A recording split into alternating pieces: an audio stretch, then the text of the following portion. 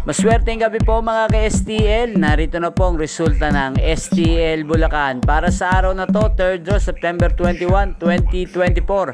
Araw ng Sabado, nawa yung mga natayan niyo pong mga numero kanina ay manalo nawa ngayong gabing ito. 8pm, kaya't kunin niyo na po ang inyong mga tickets. Narito na po ang resulta.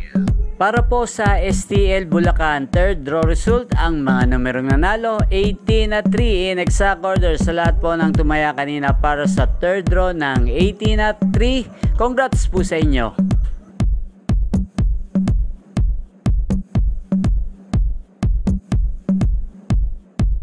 Ito nyo po ang resulta ng STL Bulacan. Congrats po sa lahat ng mga nanalo. Maraming maraming salamat po sa panonood nyo sa aking channel, Roderick Hernandez TV.